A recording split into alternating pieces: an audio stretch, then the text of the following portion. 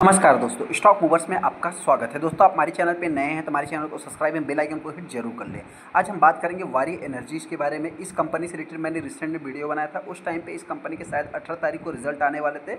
उससे ही पहले हमने वीडियो बनाया था कि इस स्टॉक में एक ज़बरदस्त गिरावट भी देखने को मिल सकती है ताकि मतलब कि आप चाहे तो रेडी हो सकते हैं। जो लोग हमारे वीडियो को देखते हैं, उनको मालूम भी होगा।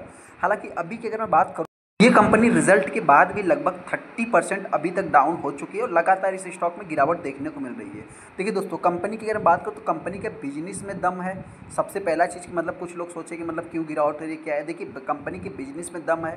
सेकेंड, अगर मैं कंपनी की बात करूँ तो कंपनी की बिज़नेस, कंपनी के प्रोडक्ट, कंपनी को ऑर्डर सारा कुछ स्ट्रांग है। यहाँ तक कि कंपनी में अपने को डेली बेसिस पे जिससे रिलेटेड कंपनी बिज़नेस करती है, उससे रिलेटेड इस स्टॉक में गुड न्यूज़ मतलब ऑर्डर्स भी मिलते हुए दिखते हैं।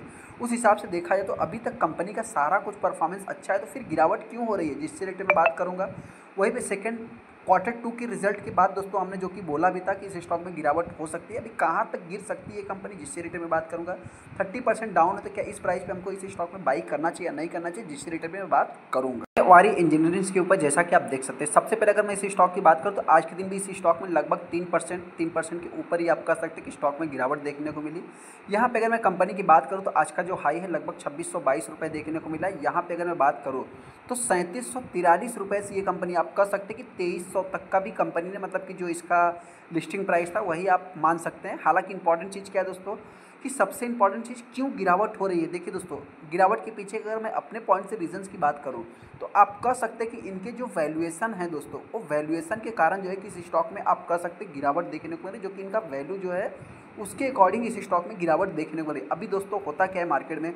सबसे पहले तो कंपनी कोई छोटी मोटी कंपनी नहीं है, लगभग बहत्तर हज़ार करोड़ का मार्केट कैप देखने को मिलता है, जो कि लगभग आप कह सकते हैं कि एक प्रकार से एक लार्ज कैप कंपनी में इसको आप कंसिडर कर सकते हैं और एक बड़े ग्रुप या एक बड़ी कंपनी भी इसको आप चाहे तो कंसिडर कर सकते हैं। हालाँकि यहाँ पे अगर आप देखेंगे जो न्यूज़ न्यूज़ की अगर मैं बात करूँ तो सबसे पहले तो ये कंपनी जानी क्यों जाती है अपने बिज़नेस के मॉडल में दोस्तों?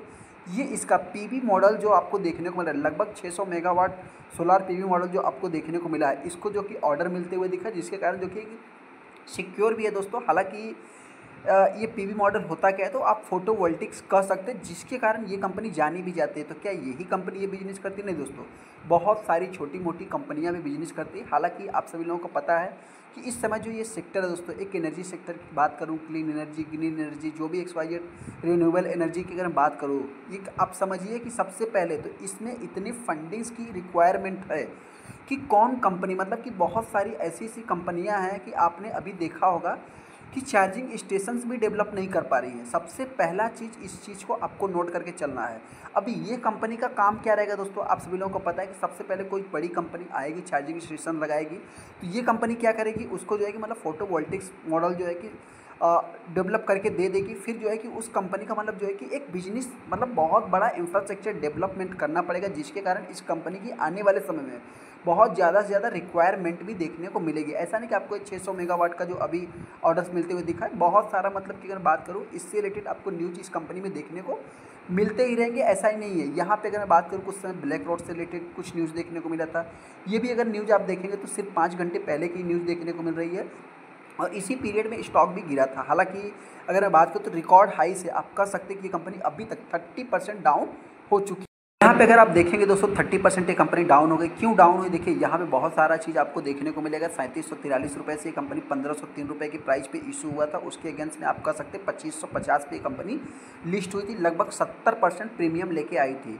तो हालाँकि गिरावट के पीछे अगर मैं बेसिकली बात करूँ दोस्तों तो आप कह सकते हैं छः नवंबर को कंपनी लिस्ट हुई थी। और मतलब मेरा कहने का मतलब क्या है दोस्तों कि देखा जाए तो इंपॉर्टेंट चीज़ जो गिरावट के पीछे का रीजन है, अगर किसी के पास सत्तर परसेंट का सत्तर परसेंट का मतलब प्रॉफिट है तो वो तो प्रॉफिट बुकिंग करेगा। हालाँकि मार्केट की अगर बात करूँ तो मार्केट के सेंटीमेंट्स के हिसाब से अगर देखा तो यूएस का इलेक्शंस भी आप कंसिडर कर सकते हैं।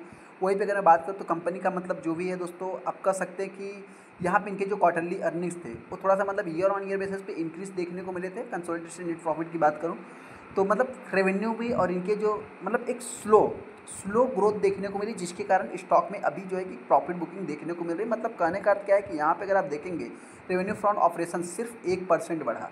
ये सबसे इंपॉर्टेंट चीज़ दोस्तों, जिसके कारण इस स्टॉक में गिरावट देखने को मिल रही है।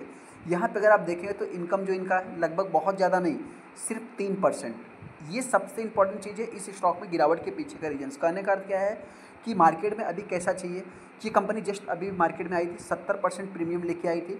उसके बाद इस स्टॉक का जो कंपनी का रिज़ल्ट था दोस्तों, वो रिज़ल्ट कैसा होना चाहिए था कि ये पैंतीस करोड़ है ना, इसको सीधा चालीस या पैंतालीस पे आता मतलब पैंतालीस सौ करोड़ की मैं बात कर रहा हूँ तो चालीस पैंतालीस के आसपास आता तो इसको जो है कि मार्केट जो है कि हम सब करता, ये कंपनी और भी नहीं, पाँच हज़ार, दस हज़ार भी जाने की काबिलियत रखती। तो इस हिसाब से देखा जाए तो मतलब कि आप कह सकते हैं कि इसी कारण इस स्टॉक में गिरावट भी देखने को मिल रही है। यहाँ पे अगर आप देखें 600 करोड़ का जो कि fully owned subsidiaries setup the जो कि infrastructure company renewable energy project जो है कि बिल्ड बिल्डिंग्स पाइपलाइन जो कि इसके मत, इसके पास जो कि मतलब देखा जाए तो आप कह सकते हैं कि ऑर्डर्स मिलते हुए दिख रहे हैं। यहाँ पे अगर आप देखें तो लिथियन ऑन बैटरी से रिलेटेड, केमिस्ट्री स्टोरेज, सेल से रिलेटेड, एनर्जी स्टोरेज से रिलेटेड सिस्टम, आप सभी लोगों को पता है दोस्तों। देखिए, आने वाले समय में अगर एक चार्जिंग स्टेशन डेवलपमेंट करना है तो आपको क्या है दोस्तों, सबसे पहले तो स्टोरेज की रिक्वायरमेंट रहेगी।